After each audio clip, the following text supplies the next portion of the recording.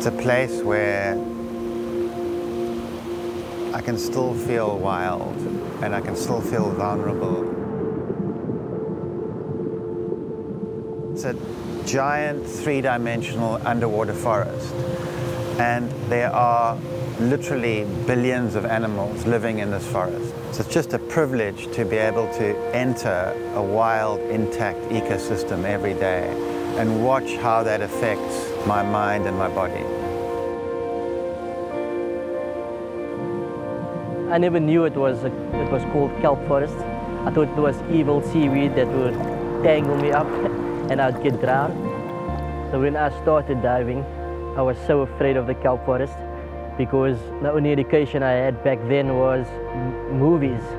And when I, the first time I went into the kelp forest, I just heard the soundtrack of Jaws playing and it was playing loud in my head on repeat. I was so scared.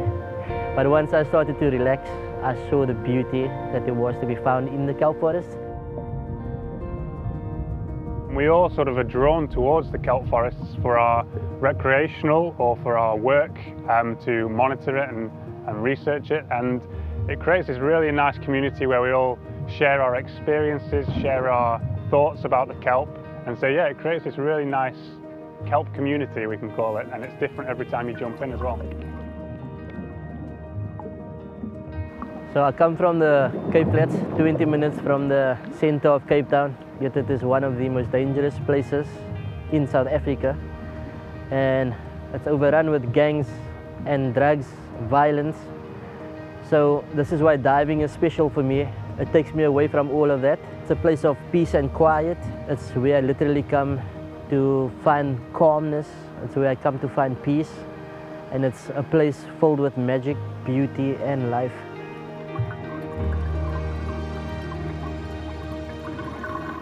When I get in the kelp, I instantly relax. Um, I feel completely at ease uh, and makes you feel, feel very content and gracious and happy. Diving in the kelp forest changed me a lot. I was very on edge and I had a short temper, but because I, I spent most of my time in the kelp forest, I learned how to relax and I learned how to control all my senses once I'm underwater. So it made me a much better person than what I used to be. you get this incredible cocktail of chemicals pushed into the brain. So you come out just feeling high, feeling great, and that feeling often lasts through the day. It's a totally natural chemicals produced by the body and it just makes you feel relaxed, makes you feel good. And you just, you know, that's the great motivation to just coming back day after day after day. It's quite difficult to comprehend how much life is five, ten meters off this relatively barren beach. And uh, it's like dip, dipping your head into a completely different world, world where there's just life in abundance. It's a beautiful place to spend time. This kelp forest and this incredible ocean environment has been part of my life literally from day one. My, my mother was diving up till the day I was born. Uh, so even inside the womb, uh, I was in the kelp forest.